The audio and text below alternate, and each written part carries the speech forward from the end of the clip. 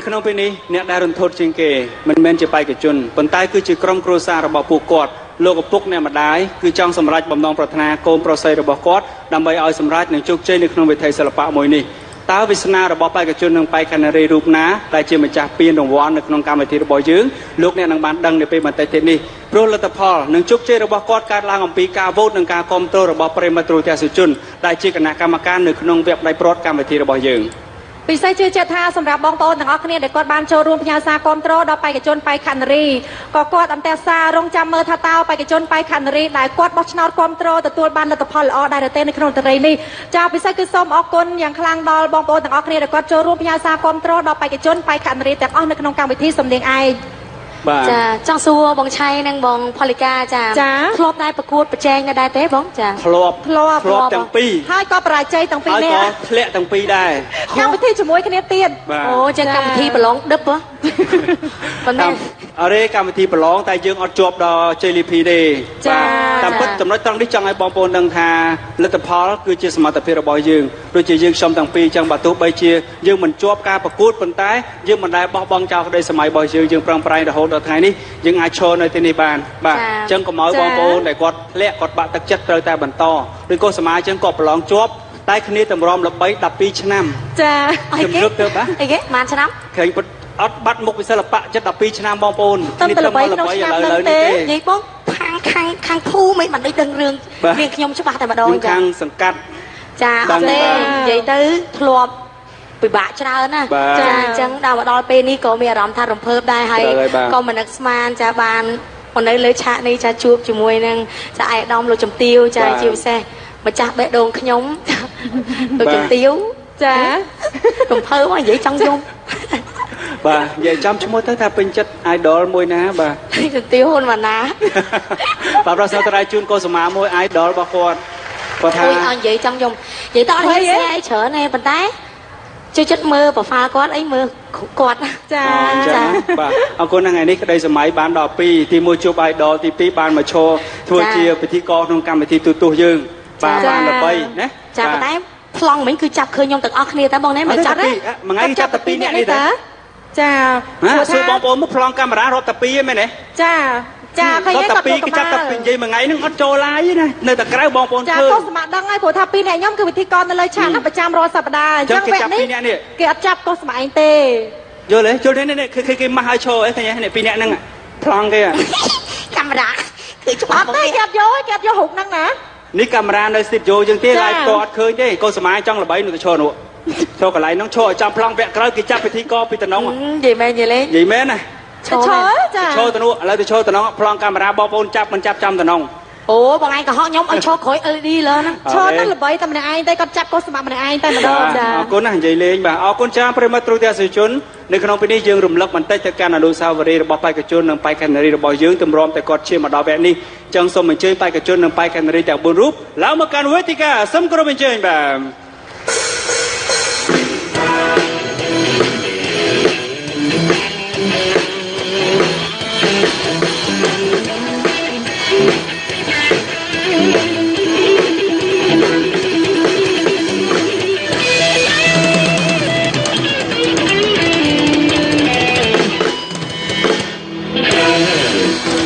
មត្តទ្រទស្សនិកជននេះគឺជាបេក្ខជននិងបេក្ខនារីវគ្គផ្ដាច់ប្រវត្តិចំនួន4រូបនៅក្នុងកម្មវិធីសំឡេងអាយខារ៉ាបាវ2017បេក្ខជនមួយគឺជាសមាជិកក្រុមរបស់លោកគ្រូណយវ៉ាណេតបាទគឺលោកសំនៀងបេក្ខនារីសរនគឺជាសមាជិកក្រុមរបស់លោកស្រីហឹមស៊ីវនបេក្ខជនវិចិត្រគឺជាសមាជិកក្រុមរបស់លោកគ្រូហូលវីនិងបេក្ខនារីស៊ីជីងជាសមាជិកក្រុមរបស់អ្នកនាងមេកាពេជ្ជដាក្នុងចំណោមពួកគាត់ទាំង4មានម្នាក់ដែលជាម្ចាស់ពានសំនៀងអាយខារ៉ាបាវ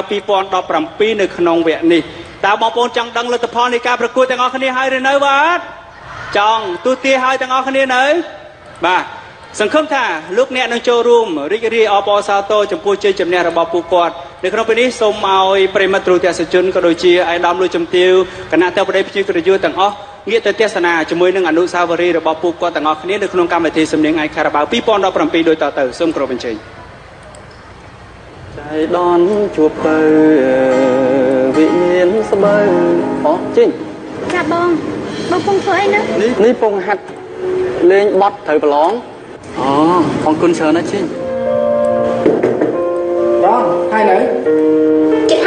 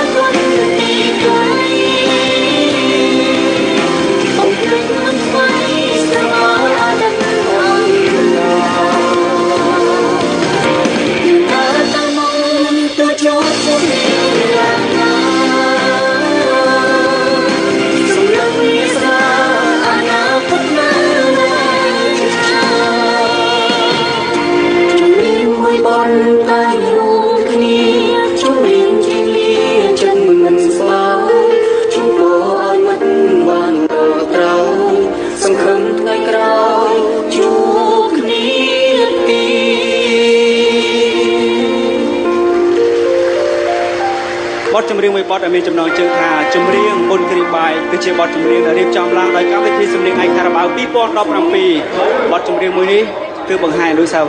តិចទាំងអស់គ្នាទម្រាំតែបានចូលរួមនៅក្នុងកម្មវិធីរបស់យើងរហូតមកដល់វគ្គ3ប្រត់នេះចាបទចម្រៀងច្រៀងមុនលាគ្នារបស់បេក្ខជនបេក្ខនារីទាំង4រូបចាបង្ហាញបញ្ជាក់ឲ្យឃើញថាទោះបីជាថ្ងៃនេះពួកគាត់បែកគ្នាក៏ពិតមែនប៉ុន្តែចាមិនអ្វីទេព្រោះអនាគតរបស់ពួកគាត់ នៅវែងឆ្ងាយបរាជ័យចាក្នុងថ្ងៃនេះក៏មិនអ្វីប៉ុន្តែសម្រាប់បេក្ខជនបេក្ខនារីទាំង4រូបថ្ងៃនេះប្រកាសជាមានមួយរូបដែលត្រូវទទួលពានកម្ពុជានៃកម្មវិធីសំនៀងឯកខារបាវ2017ក្នុងនោះផងដែរសម្រាប់បេក្ខជននិងបេក្ខនារីដទៃទៀតនេះគឺជាអ្វីដែលកម្មវិធីរបស់យើងចង់ជម្រាបជូនបងប្អូនថាកម្មវិធីសំនៀងឯកខារ៉ាបាវ2017 ពានមួយគឺជាពានមាសជ័យលាភីសម្រាប់បេក្ខជនដែលជាជ័យលាភីលេខ1ដែលឡែកបេក្ខជនគឺយើងមានជ័យលាភីលេខ2លេខ3លេខ4និងជ័យលាភីកិត្តិយសសម្រាប់គាត់គឺជាការលើកទឹកចិត្តព្រោះយើងយល់ថាបេក្ខជនឬបេក្ខនារីនីមួយៗបើគាត់មិនបានជាប់ដល់ជ័យលាភីលេខ1ប៉ុន្តែគាត់ត្រូវការកម្លាំងចិត្តពីកម្មវិធីរបស់យើងត្រូវការកម្លាំងចិត្តពីបងប្អូនហើយដូច្នេះយើងក៏បានបង្កើតពានជ័យលាភីលេខ2លេខ3និងកិត្តិយសជាពិសេសគឺប្រាក់រង្វាន់ពីក្រុមហ៊ុនខារ៉ាបាវគឺបានផ្ដល់ជូនដល់ពួកគាត់ដើម្បីជាការលើកទឹកចិត្តអញ្ចឹងនេះជាកម្លាំងចិត្តពីខាងស្ថានីយ៍ទទួលបាយ័នពី sponsor ក៏ដូចជាបងប្អូនទាំងអស់គ្នាបើជាប់ឬក៏មិនជាប់ត្រូវតែរក្សាក្តីសម័យរបស់ខ្លួនឯងឆ្ពោះទៅមុខបន្តទៀតណាចា៎សន្យាថាពេលធ្លាក់អត់យំទេណាអូខេបាទចាប៉ុន្តែជឿជាក់ថាសម្រាប់អ្នកទាំង4អាចមានសង្ឃឹមច្រើនចាទោះបីជាមិនចំណាត់ថ្នាក់លេខ1លេខ2លេខ3ឬក៏ទទួលបាននៅជ័យលាភីកិត្តិយសចាជឿជាក់ថាបងប្អូនដែលកំពុងតាមដានទស្សនានៅទីនេះក៏ដូចជាបងប្អូនដែលទស្សនានៅតាមគេហដ្ឋាន គាត់ប្រកាសជាចង់ដឹងច្បាស់តើបេក្ខជនឬក៏បេក្ខនារីមួយរូបណាដែលមានសមត្ថភាពពិតប្រាកដមានជោគវាសនាអាចលើកពានកម្ពុជានៅកម្មវិធីសម្លេងឯកខារបាវ2017រដូវកាលទី1ចាបងប្អូនទាំងអស់គ្នាចង់ដឹងអត់ចង់ដឹងទាំងអស់គ្នាមានអ្នកឆ្លាញ់ទុកក្នុងចិត្តហើយទាំងអស់គ្នានៅបងប្អូនអូខេអញ្ចឹងបើសិនបើទាយត្រូវអាចគិតថាឆ្នាំថ្មីបងប្អូនអាចមានអាជីពមួយទៀតទោះទាយបានចាបាទព្រោះគាត់ទាយដឹងបាទ តែតាមពិតមិនថ្មីទេដោយសារតែតេសិជនគឺជាម្ចាស់អ្នកវោតគ្រប់គ្រងហើយគាត់ដឹងហើយថាអ្នកណាដែលគាត់ឲ្យនឹងគឺជាប់បាទព្រោះលទ្ធផលដើម្បីរក្សាភាពសក្រិតនិងយុត្តិធម៌កម្មវិធីរបស់យើងគឺមិនតម្រូវឲ្យគណៈកម្មការឬមួយក៏ស្ថានីយ៍ជាអ្នកដាក់បន្ទុទេដើម្បីឲ្យបងប្អូនអស់ចិត្តថាលទ្ធផលគឺកើតឡើងពីការវោតរបស់មហាជនទូទាំងប្រទេសគឺมันមានការស៊ីសំណូកឬក៏មិនមានការប្រកាន់បពុនោះទេគឺយើងរក្សាឲ្យបាននៅតម្លៃនៃកម្មវិធីខ្មែររបស់យើងឲ្យបងប្អូនជឿទុកចិត្ត ចាអញ្ចឹងនេះខ្ញុំក៏សូមជម្រាបចាជូនដល់ទូទស្សនិកជនចាដែលគាត់កំពុងតែតាមដាននៅទីនេះនៅតាមគេហដ្ឋានចាពេលខ្លះគាត់ស្រឡាញ់ចាក្នុង4រូបហ្នឹងគឺគាត់ស្រឡាញ់ម្នាក់ចាអញ្ចឹងនៅពេលណាដែលខាងមួយណាជាប់ចាហាមឈប់និយាយរកគ្នាចាយើងនិយាយរកគ្នាធម្មតាទៅចាបាទរក្សាសែវលេខគ្នាទុកទៅចាជួនកាលដូចថាអ្នកណាគេជាប់ទៅគេមានការងារទៅយើងតំណាក់តំណងហៅរកគ្នាទៅណាបាទប៉ុន្តែយើងបានដឹងថាបេក្ខជន8រូបទៀតដែលគាត់អត់ជាប់ក៏មកលើកទឹកចិត្តនេះបញ្ជាក់ឲ្យថាកម្មវិធីរបស់យើងបានសាងមិត្តភាពឲ្យពួកគាត់ចេះស្រឡាញ់គ្នាណាបាទអរគុណនៅពេលនេះយើងខ្ញុំកំពុងតែរងចាំលទ្ធផលពីក្រុម data នៃក្រុមហ៊ុនទូរស័ព្ទទាំងពីរគឺក្រុមហ៊ុន Smart និង Cellcard ដែលផ្ញើមកកាន់កម្មវិធីរបស់យើងអញ្ចឹងប្រសិនបើក្រុមការងាររៀបរាល់ហើយសូមអញ្ជើញយកលទ្ធផលឡើងមកលើវេទិកាព្រោះយើងខ្ញុំពិតជាទន្ទឹងរង់ចាំជាពិសេសគឺអាយដាមលួយជំទាវគណៈអធិបតីភ្ញៀវក្រយុលោកក៏ចង់ដឹងដែរថាតើក្នុងចំណោមពួកគាត់ទាំង4នេះអ្នកណាគេដែលមានសមត្ថភាពអ្នកណាគេដែលមានការវោតគ្រប់គ្រងច្រើនជាងគេនៅក្នុងសប្តាហ៍នេះបាទចាពិសេសសម្រាប់បេក្ខជនបៃខានរីទាំង4រូបប្រហែលជាមានអារម្មណ៍ក្តុកក្តួលព្រោះថានេះគឺជាក្តីស្រមៃរបស់អ្នកទាំង4តាំងពីក្មេងៗមានចិត្តចង់ក្លាយជាអ្នកចម្រៀងអាជីពមានចិត្តមួយចង់ឈរនៅលើវេទិកាដ៏អស្ចារ្យប៉ុន្តែថ្ងៃនេះបានឈរហើយលើវេទិកាដ៏អស្ចារ្យនៃកម្មវិធីសំនៀងឯកខារ៉ាបាវ2017ហើយចង់ដឹងច្បាស់តើខ្លួនឯងអាចសម្រេចជោគវាសនារបស់ខ្លួនឯងដោយដែលពងតាំងពីក្មេងដែរឬទេ អរគុណណាស់យើងងាកទៅគណៈកម្មការទាំង4នោះគឺក៏មិនធម្មតាដែរលោកគ្រូណេតមិនដែរសម្រាប់សប្តាហ៍នេះថ្ងៃនេះផ្ទាល់មានអារម្មណ៍មិនដែរហើយសង្ឃឹមទេថាសមាជិកក្រុមរបស់លោកគ្រូនឹងជាប់នៅក្នុងថ្ងៃនេះបាទថ្ងៃនេះគឺខ្ញុំមានអារម្មណ៍មួយរំភើបខ្លាំងមែនទែនពីព្រោះឃើញថាកូនសិស្សរបស់ខ្ញុំខ្ញុំជឿជាក់ថាគាត់ថ្ងៃនេះគាត់ធ្វើបានល្អបំផុតសម្រាប់លោកខ្ញុំតែក៏សម្រាប់បងប្អូនទូទាំងប្រជាជាតិកម្ពុជាដែលគាត់សម្លឹងឃើញលើទេពកុសលបាទទេពកុសលរបស់គាត់បាទអរគុណច្រើនបាទ បាទនៅនាងមិនក៏ពិចារណាយ៉ាងណាដែរបាទចាអឺឃើញថាបងប្អូនកាន់តែមានសមត្ថភាពសឹងស្ទើរទៅជាអ្នកជំនាញហើយក្រោយពីយើងបានហាត់អឺឆ្លងកាត់ការហាត់ពុតលឹកដំនឹងរយៈពេល5ខែអឺឥឡូវនេះនៅក្នុងពេលនេះលទ្ធផលអត់ទាន់ចេញទេប៉ុន្តែបងសុំប្រាប់មុនណាសុំសុំប្រាប់ឲ្យបងអូនអឺតាំងស្មារតីទទួលយកការពិត ណាសន្យាគ្នាណា សន្យាថាបើធ្លាក់ឬជាប់កុំធ្វើតម្រាប់តាមបងកុសមាឲ្យសោះអត់មានខឹងគ្នាទេអត់ទេអ្នកគ្រូមិញនេះចង់សម្ដៅថាសម្រាប់ទូត្រេះទេសជនជួនកាលបងប្អូនគ្នាអញ្ចឹងគាត់ថាគាត់ពេញចិត្តណោះនាងវិចិត្រឬក៏ពេញចិត្តលោកមកសំនៀងអញ្ចឹងទៅសិតតែគាត់ឆ្លោះគ្នាអញ្ចឹងទៅចានេះយើងនិយាយលេងឯងការពិតយើងមានសាមគ្គីភាពគ្នាល្អឆ្លងកាត់ការប្រឡងកន្លងមក គឺគណៈកម្មការដែលរៀបចំការប្រឡងគឺលោកបានរៀបចំបានយ៉ាងល្អនៅទំនាក់ទំនងរវាងប្អូនបេក្ខជនដូចគ្នានិងគណៈកម្មការគឺប្អូនមានក្រមសីលធម៌មានការយល់ដឹងចេះគោរពចាស់ទុំហើយបងសូមឲ្យចរិតនឹងគឺបន្តរហូតទៅដល់ពេលដែលប្អូនល្បីសូមកុំភ្លេចអ្វីដែលប្អូនចាប់ផ្ដើមឲ្យសោះតារាកាន់តែខ្ពស់ដាក់ខ្លួនកាន់តែទៀបគឺជាចំណុចជោគជ័យ ណាចាអរគុណនាងមេងកបិចដាបន្តទៀតលោកស្រីហឹមស៊ីវុនចាសម្រាប់នាងខ្ញុំអឺនាងខ្ញុំយល់ថាកម្មវិធីសំនៀងឯកនេះធ្វើឲ្យបងប្អូនទស្សនិកមានការទស្សនិកជនមានការចាប់អារម្មណ៍ច្រើន ជាពិសេសបទចម្រៀងដែលនៅក្នុងថ្ងៃនេះ មានតាំងពីបទដែលយើងនិពន្ធថ្មីដូច្នេះបងប្អូនដែលទាំង4នាក់នេះ បញ្ចេញសមត្ថភាពដែលបងប្អូន ហើយនឹងទេពកោសលដែលបងអូនមានពីធម្មជាតិមកដើម្បីតាក់ទាញនឹងបទចម្រៀងដែលយើងនិពន្ធថ្មីហ្នឹងរកស្ទីលរកអឿនដោយខ្លួនឯងដូច្នេះបងអូនសមត្ថភាពបងអូនយ៉ាងណាយ៉ាងណាគឺបងអូនដឹងនៅពេលហ្នឹងថាបទថ្មីឬមួយបទច្រៀងតាមគេវាយ៉ាងម៉េចដែលយ៉ាងណាយ៉ាងណាគឺទស្សនិកជនលោកបានស្ដាប់លោកបានឮទាំងអស់ដូច្នេះសម្រាប់នាងខ្ញុំនាងខ្ញុំសប្បាយចិត្តសប្បាយរីករាយមែនទែនដោយសារអឺ ឱកាសនេះបានស្ដាប់បទចម្រៀងថ្មីចាហើយវាជាលក្ខណៈខ្មែររបស់យើងទៀតដូច្នេះនាងខ្ញុំសូមអរគុណច្រើនហើយជូនពរដល់ប្អូនដែលមានដែលជាប់នៅក្នុងថ្ងៃនេះសូមដូចប្អូនចិន្តានិយាយចឹងអ្វីដែលយើងដើមកំណើតយើងចេញពីខាងណាមកយើងត្រូវតែកុំភ្លេចអសោះចាអរគុណច្រើនចាបាទលោកគ្រូហូលវីសូមអញ្ជើញបានបាទ ចំពោះរូបខ្ញុំ គឺថ្ងៃនេះខ្ញុំមានសេចក្តីរំភើបយ៉ាងខ្លាំងដោយសារថាទាំង4នាក់មិនដឹងជាអ្នកណាមួយដែលកាន់ពៀនដូច្នេះលោកគ្រូណយវ៉ាណេតគាត់សង្ឃឹមកូនសិស្សគាត់ខ្ញុំសង្ឃឹមកូនសិស្សខ្ញុំបាទអ្នកស្រីហឹមស៊ីវ៉ុនសង្ឃឹមកូនសិស្សគាត់ម្ល៉េះហើយអ្នកនាងមេចិន្តាក៏អញ្ចឹងដែរសង្ឃឹមកូនសិស្សគាត់ក្នុងម្នាក់គ្រូម្នាក់ម្នាក់តែងតែគិតពីកូនសិស្សណា ខំបង្ហាត់បង្រៀន4 5ខែនេះគឺថាម្នាក់ម្នាក់ចាប់បានច្រើនដូច្នេះខ្ញុំក្នុងនាមជាគណៈកម្មការ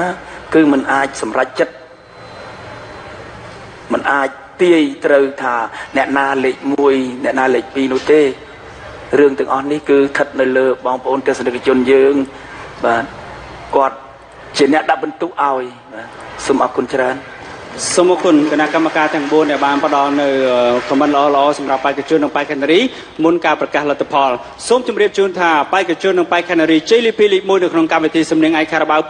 2017ជ័យលាភីលេខ1នឹងទទួលបានវិញ្ញាបនបត្រ1ពានរង្វាន់1រួមជាមួយនឹងទឹកប្រាក់50លានរៀលចាសម្រាប់ជ័យលាភីលេខ2នឹងទទួលបានវិញ្ញាបនបត្រពានរង្វាន់1និងទឹកប្រាក់30លានរៀល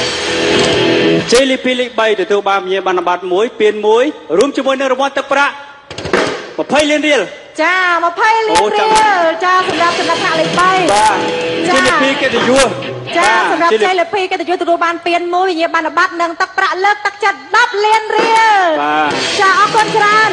ពេលវេលាដែលលោកអ្នកកំពុងទន្ទឹងរង់ចាំទស្សនាបានមកដល់ហើយលទ្ធផលក៏បានមកដល់ដៃក្រុមការងារយើងហើយចាសូមយកលទ្ធផលមកកាន់វេទិកាបាទសូមតដៃទាំងអស់គ្នាសម្រាប់លទ្ធផលកម្មវិធីសំនៀងឯការាបា2017សូមអរគុណ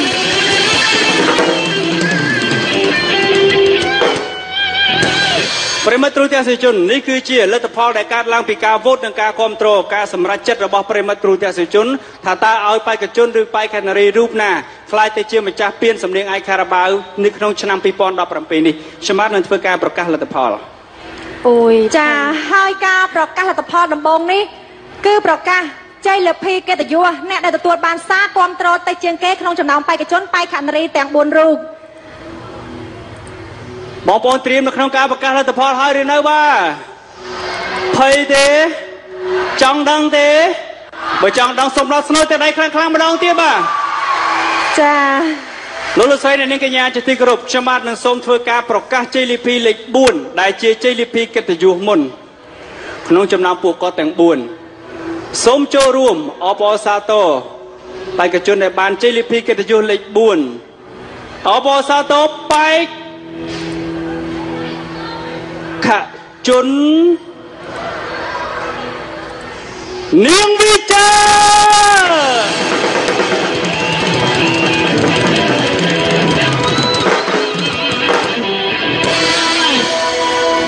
បេក្ខជននេះវិចិត្រគឺទទួលបានជ័យលាភីលេខ4បាទដូច្នេះនៅសល់បេក្ខជនជាបន្តទៀតសូមជ័យឡើងមុខមួយជំហានបាទគឺមានបេក្ខជនសំនៀងបេក្ខនារីសរននិងបេក្ខនារីច័ន្ទស៊ីជីងខ្ញុំបាទនឹងសូមធ្វើការប្រកាសជ័យលាភីលេខ 3លេខ3ចាលេខ1ចុងក្រោយ JLP លេខ3បានទៅលើ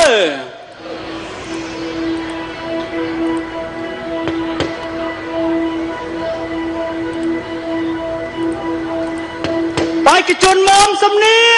ង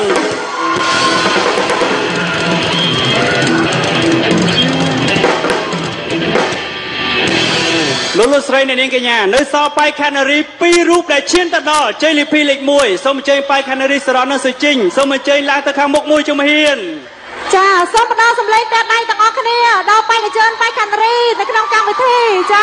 អារម្មណ៍ពិតជាក្តុកក្តួលមែនតើបងមិនដឹងថាបេក្ខនារីរូបណាដែលត្រូវបានជាប់ជ័យលាភីលេខ1ទេចាចាលោកលោកស្រីអ្នកនាងកញ្ញាជាទីគោរពនេះគឺជាបេក្ខនារីដែលឈានដល់ជ័យលាភីលេខ1និងលេខ2ក្នុងចំណោមពួកគាត់ មានម្នាក់ដែលជាម្ចាស់ពានសំនៀងឯកខារ៉ាបាវ2017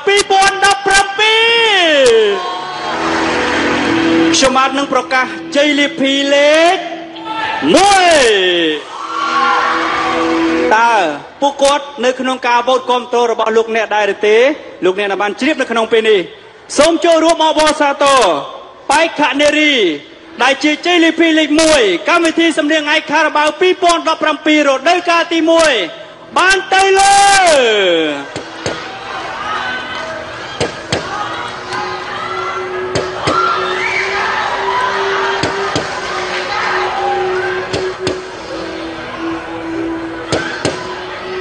បែកខានារី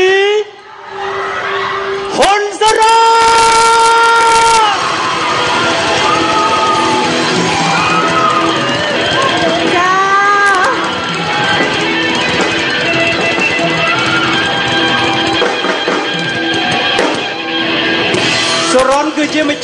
ស់ពានសំនៀងឯកខារបាវ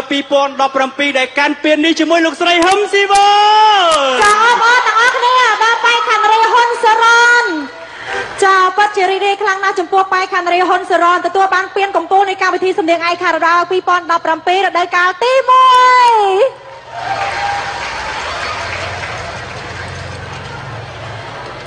ដើម្បីធ្វើការបញ្ជាក់ជូនអំពីលទ្ធផលនៃការវោតខ្ញុំសូមបញ្ជាក់ជូនម្ដងទៀតដើម្បីរក្សាភាពសក្តិយុត្តិធម៌ជូនដល់លោកអ្នកគឺបេក្ខជននីវិចិត្រទទួលបានវោតចំនួន3471សម្លេងបេក្ខជនមុំសំដៀងទទួលបានវោតចំនួន4230សម្លេងបេក្ខនារីច័ន្ទស៊ីជីងទទួលបានវោតចំនួន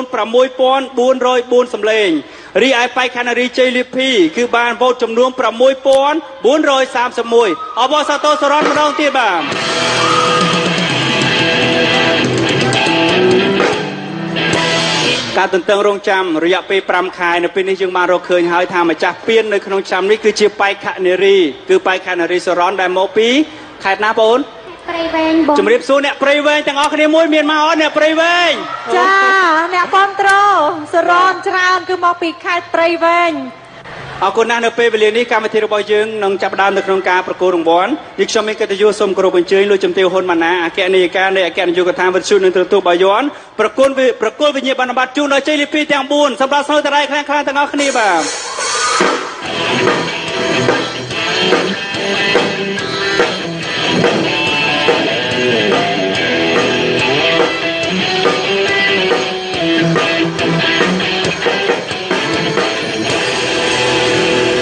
ជាថ្មីម្ដងទៀតកម្មវិធីពិតជាមានសេចក្តីរំភើបនិងមោទនភាពបំផុតដោយនៅក្នុងថ្ងៃនេះទទួលបានវត្តមានដល់ខ្ពង់ពលលោកជំទាវហ៊ុនម៉ាណាអគ្គនាយិកានៃអគ្គនាយកដ្ឋានវិទ្យុនិងទូរទស្សន៍បយ័នដែលបានផ្ដល់កិត្តិយសចូលរួមនិងប្រគល់វិញ្ញាបនបត្រជូនដល់បេក្ខជននិងបេក្ខនារីជាថ្មីម្ដងទៀតសូមផ្ដល់ស្នូតដៃជូនដល់លោកជំទាវហ៊ុនម៉ាណាឲ្យខ្លាំងខ្លាំងទាំងអស់គ្នាបាទ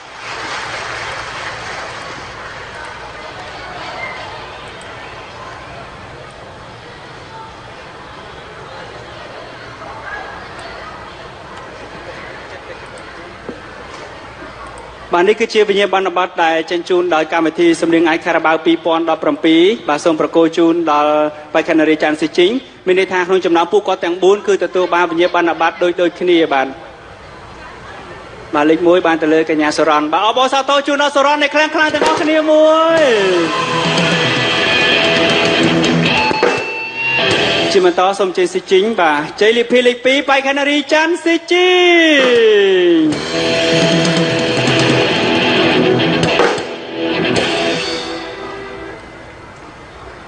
បន្តជេលីពីលេខ3បេក្ខជនមុំសំនៀង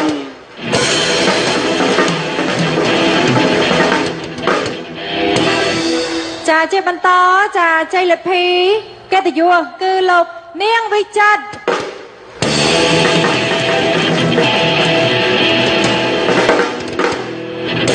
បាទសូមលោកជំទាវផ្ដល់កិត្តិយសបាទឈរកណ្ដាលដើម្បីថតរូបជាអនុស្សាវរីយ៍បាទជុំជាមួយនឹងបេក្ខជនទាំងអស់គ្នាបាទសូមថតរូបជាអនុស្សាវរីយ៍បាទអរគុណជាបន្តយើងខ្ញុំសូមលោកជំទាវផ្ដល់កិត្តិយសនៅទីនេះដើម្បីរងចាំថតរូបជុំគ្នាជាមួយនឹងគណៈធិបតីហើយយើងខ្ញុំក៏សូមគោរពអញ្ជើញជាបន្តលោកហឹមត្រីអគ្គនាយកក្រុមហ៊ុនតាំងសេងហួតផ្ដល់កិត្តិយសប្រគល់នៅប្រាក់រង្វាន់ជូនដល់បេក្ខជនបេក្ខនារីជ័យលីភីសូមដល់ស្នើតរៃខ្លាំងៗទាំងអស់គ្នាបាទ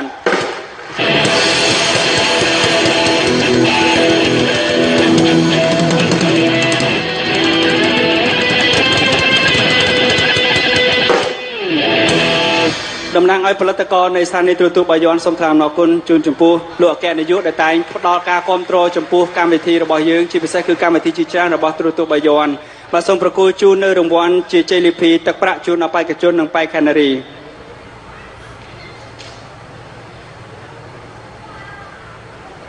បាទជាជាដំបូងបាទសូមចាប់ផ្ដើមជាមួយនឹងបាទទឹកប្រាក់រង្វាន់បាទជ័យលាភីលេខបាទលេខ4បាទជ័យលាភីកិត្តិយសសូមអញ្ជើញបាទបងប្រុសវិចិត្របាទ គឺប្រគល់រង្វាន់ទឹកប្រាក់ចំនួន10លានរៀលអបអរសាទរបាទជាបន្តសូមផ្ដល់រង្វាន់ជូននៅប្រាក់រង្វាន់បាទ JLP លេខ3ដែលទទួលបាននៅរង្វាន់ទឹកប្រាក់ចំនួន20លានរៀលអបអរសាទរ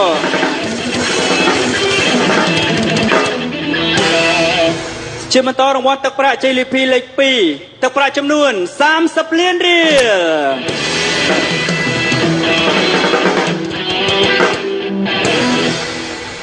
នឹងជាបន្តរង្វាន់ជេលីភីលេខ1ទឹកប្រាក់ចំនួន50លានរៀល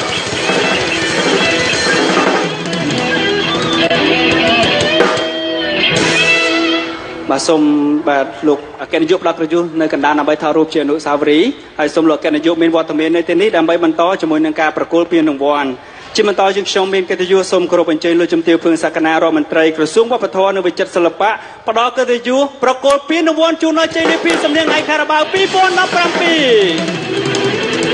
2017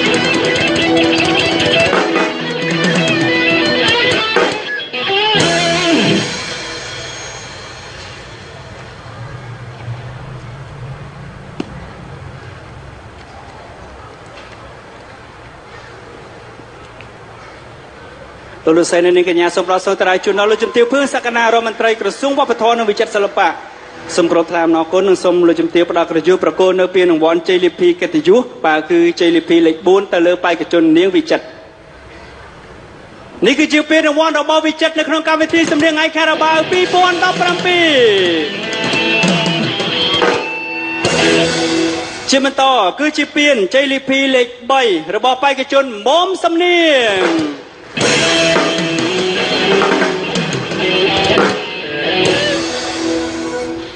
និងជាបន្តគឺជាពាន JLP លេខ2របស់ប៉ៃខេណារីច័ន្ទស៊ីជី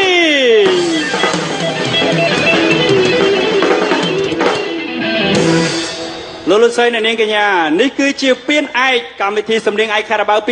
2017 JLP លេខ1ប៉ៃខេណារីហ៊ុនសរន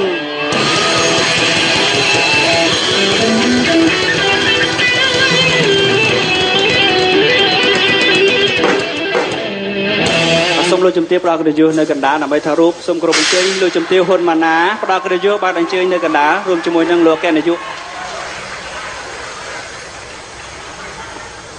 យើងសូមសូមគោរពថ្លែងអំណរគុណជូនចំពោះលោកជំទាវភឿងសក្តារដ្ឋមន្ត្រីក្រសួងវប្បធម៌និងវិចិត្រសិល្បៈលោកជំទាវហ៊ុនម៉ាណានិងលោកអគ្គនាយកក្រុមហ៊ុនតាំងសិង្ហួតដែលបានផ្ដល់កិត្តិយសនេះថ្ងៃនេះនេះគឺជាម្ចាស់ពានសំនៀងឯកខារ៉ាបាវ2017កញ្ញាហ៊ុនចរនដល់ស្នូតដៃទាំងអស់គ្នាបាទ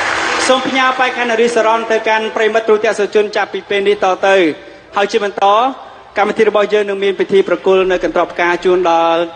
កម្ពុជាតារាចម្រៀងទាំង4ដែលជាគណៈកម្មការនៅក្នុងរាត្រីនេះសូមគោរពអញ្ជើញបាទគណៈកម្មការទាំង4ឡើងនៅវេទិកាបាទសូមដល់សូមតែដៃជូនដល់គណៈកម្មការទាំង4អ្នកខ្លាំងខ្លាំងទាំងអស់គ្នាបាទ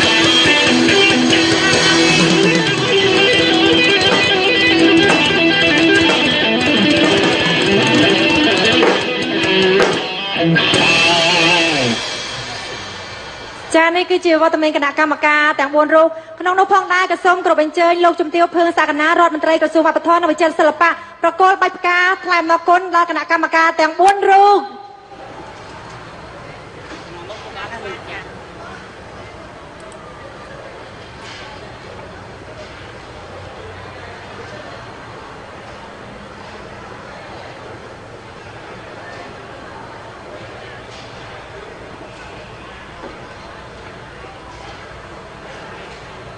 សូមភ្ញៀវកិត្តិយសទាំងអស់គ្នាផ្ដល់សោតរៃខ្លាំងខ្លាំងទាំងអស់គ្នាបាទនេះជាគណៈកម្មការទាំង4នៅក្នុងកម្មវិធីរបស់យើងខ្ញុំបាទសូមថតរូបជាអនុស្សាវរីយ៍រួមគ្នាជាមួយនឹងគណៈកម្មការរួមទាំងវត្តមានគណៈធិបតីផងដែរ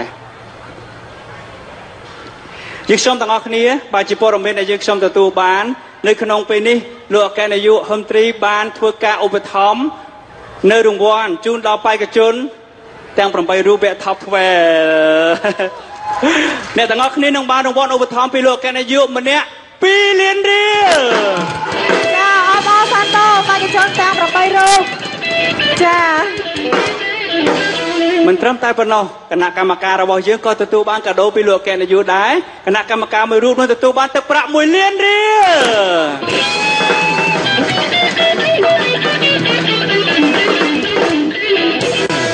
ក្រុមតន្ត្រីករនិងពិធីករពិធីការនីទទួលបានម្នាក់50ម៉ឺនរៀលសូមគ្រប់ប្រាំអរគុណលោកអគ្គនាយកបាទបាទសូមគោរពថ្លែងអំណរគុណជាថ្មីជូនលោកកណ្ដាលនាយកដែលបានឧបត្ថម្ភបាទថាវិការសម្រាប់យើងខ្ញុំទាំងគ្នាសូមគោរពថ្លែងអំណរគុណលោកជំទាវភឿនសក្កណារដ្ឋមន្ត្រីក្រសួងវប្បធម៌និងវិចិត្រសិល្បៈសូមគោរពថ្លែងអំណរគុណលោកជំទាវហ៊ុនម៉ាណាដែលបានផ្ដល់កិត្តិយសសូមគោរពថ្លែងអំណរគុណលោកកណ្ដាលនាយកហឹមត្រីដែលបានផ្ដល់កិត្តិយសនេះឱកាសនេះ សូមគោរពអញ្ជើញគណៈធិបតីបាទត្រឡប់ទៅកាន់វេទិកាកិត្តិយសវិញសូមគោរពថ្លែងអំណរគុណយ៉ាងជ្រាលជ្រៅបាទលោកលោកស្រីអ្នកនាងកញ្ញាសូមផ្ដល់ស្នូលតរៃម្ដងទៀតជូនដល់កម្មវិធីសំនៀងអាយខារ៉ាបាវ2017កម្មវិធីនៅពេលនេះបានឈានចូលដល់ទីបញ្ចប់សូមគោរពថ្លែងអំណរគុណចំពោះអាយដាមលោកជំទាវលោកលោកស្រីភីក្រយុទ្ធដែលបានគ្រប់គ្រងកម្មវិធីរបស់យើងខ្ញុំកម្មវិធីនៅក្នុងរដូវកាលទី1បានឈានចូលដល់ទីបញ្ចប់ ជួបគ្នានៅរដូវកាលទី2កម្មវិធីសំនៀងឯការបាវ2018ចាសម្រាប់ពេលនេះកម្មវិធីសូមអរគុណសូមគោរពលាត្រីសួស្តី